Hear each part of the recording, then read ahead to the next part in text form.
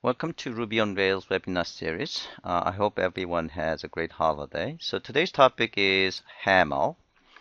HAML stands for HTML Abstraction Markup Language. So let's start with presentation. So we'll talk about what is and why you want to use HAML and uh, then we are going to spend some time learning HAML basic syntax. Uh, it has a very simple syntax and we are going to see how HAML could be used with Rails. I have to actually add L here. And then we're going to see how we can convert existing ERB template files to HAML template files. And we are going to see also how you can generate HAML files as a default template. So what is and why HAML? So HAML stands for HTML Abstraction Markup Language, as I said, and it is a templating engine for HTML.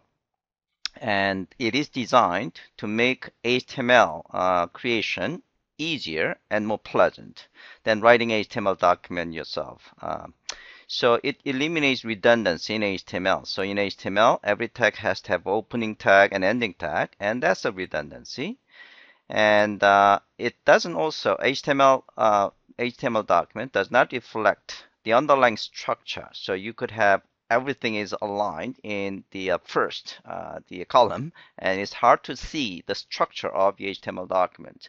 So that's another problem of HTML document.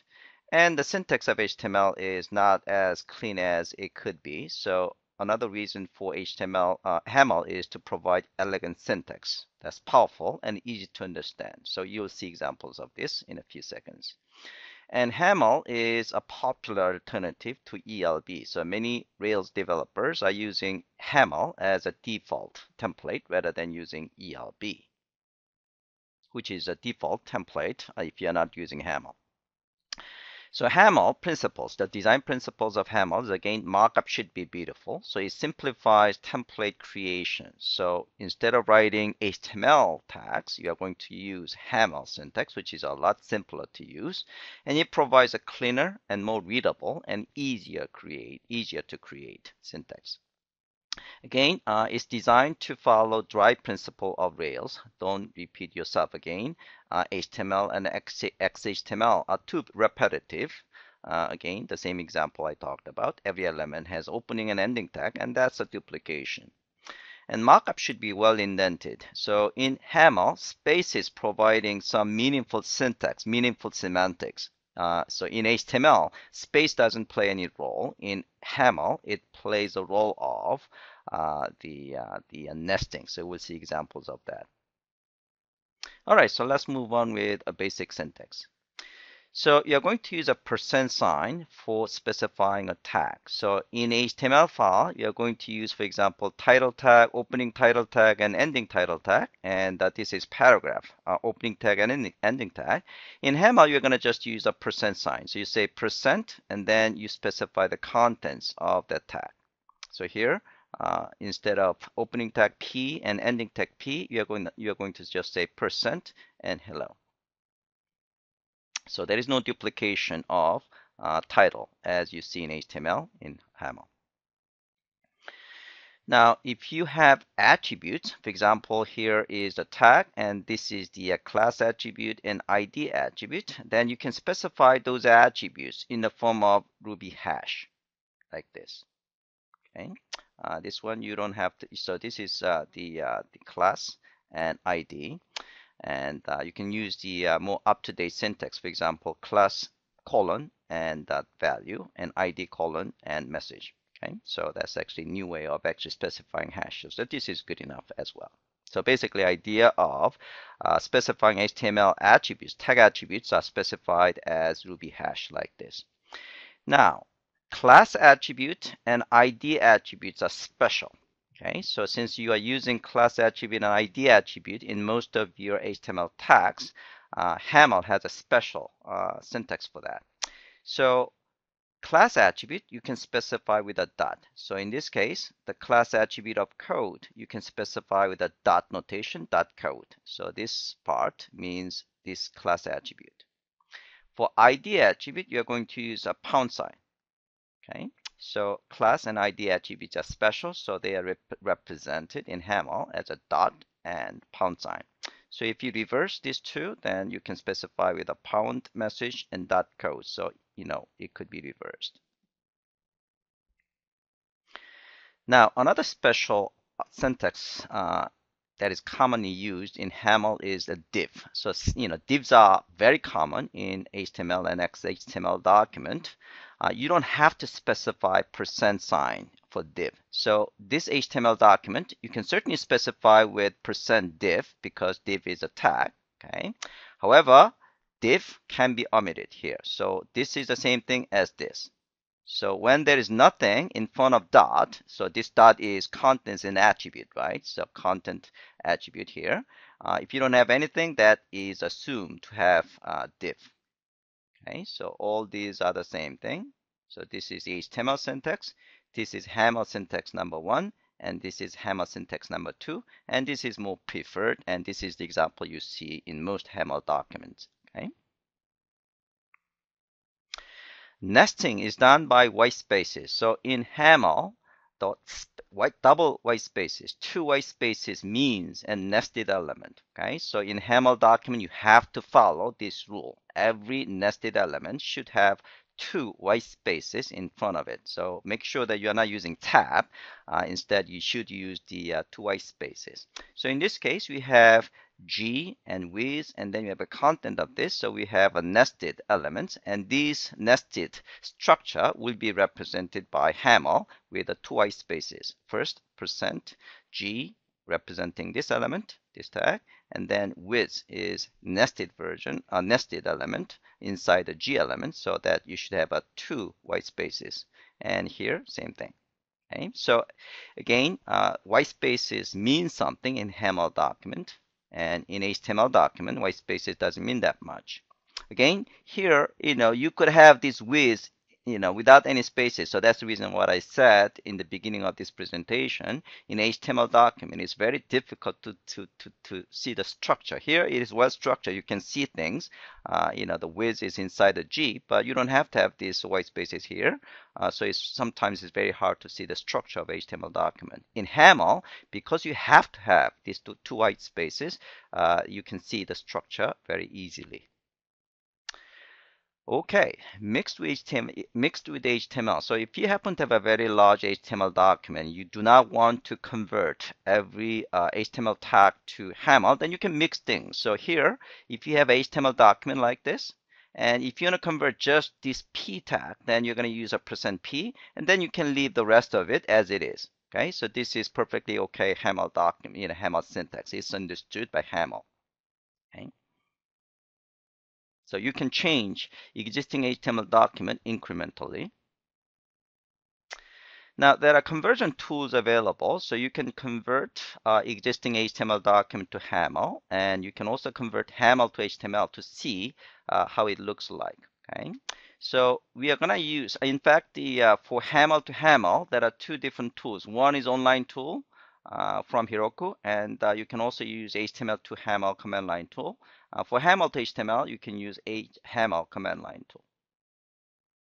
All right, so let's do exercise one and two. So exercise one is converting HTML to Haml, and exercise two is converting Haml to HTML.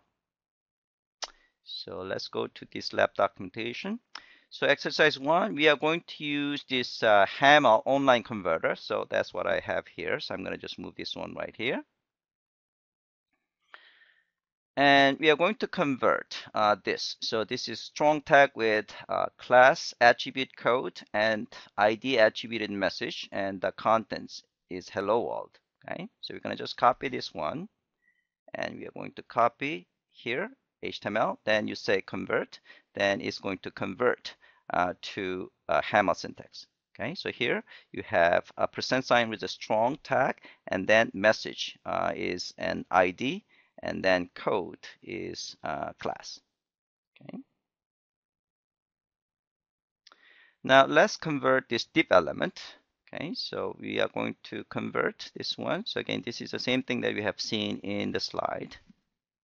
Copy this one and convert.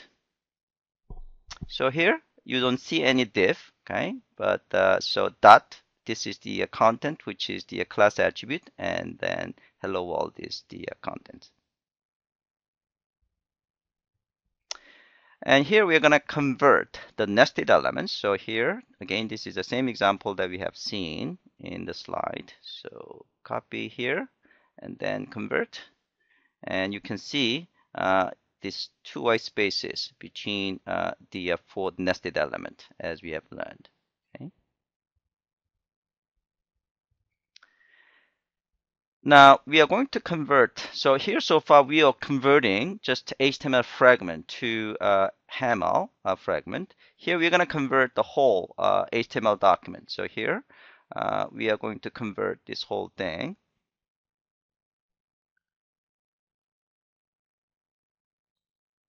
And convert. So as expected, this is what you get. Now, you're going to see this bang, bang, bang. You know, that's basically representing this doc type. Okay. And you can see HTML is represented by this body, which is nested inside HTML is represented by percent body, but it does have a two white spaces. Okay. And the form element is form and the action attribute is again represented as Ruby hash. Okay. Oops. Ruby hash. Okay. And uh, then we have a first name, again, nested with the two uh, white spaces. And again, input. Okay, so input is represented by percent sign and again, hash, uh, Ruby hash. Okay, so you can see things are very simple. Okay, all right. So here we are going to convert another HTML uh, page, HTML document to, uh, so this is the case that we are converting HTML page that contains this the uh, UL uh, element. Okay, so UL element has the uh, line item, uh, the item here. So let's convert this.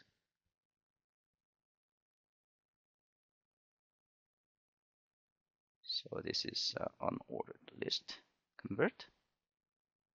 Okay, so the conversion is HTML, body, and UL, and again, everything is nested. Okay, and it's a lot easier to see, you know, this UL contains li, line, you know, items underneath, and this uh, like this item contains a T, and it has its own UL. Okay. All right.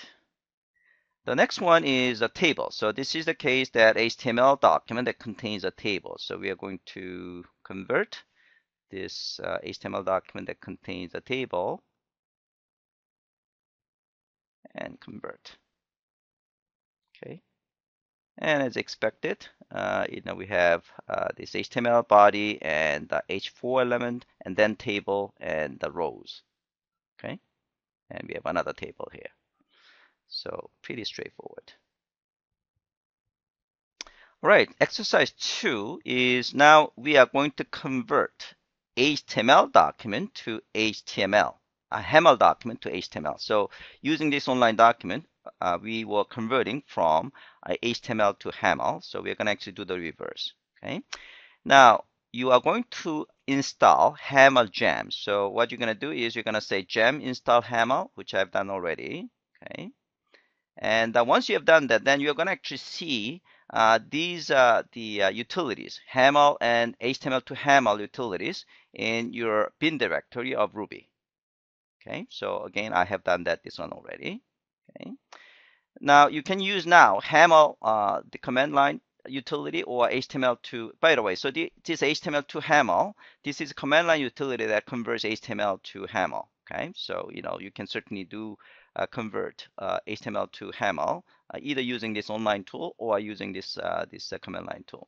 Okay, so here we're gonna just do use HAML, which is converting HAML to the the um, um, HTML. Okay, so you can just use HAML help, and one option that you can specify is whether you want to convert the HAML to either HTML4 document or HTML5 document. Okay, uh, this one is again HTML to HAML. Okay, uh, so here you can actually parse ERB tags. So what you're going to do is we are going to actually go to uh, this uh, HTML file. So I provided some example HTML files. In fact, I just copied these HTML files into the lab documentation. So uh, lab hands-on lab file. So I'm going to just go to uh, and HAML.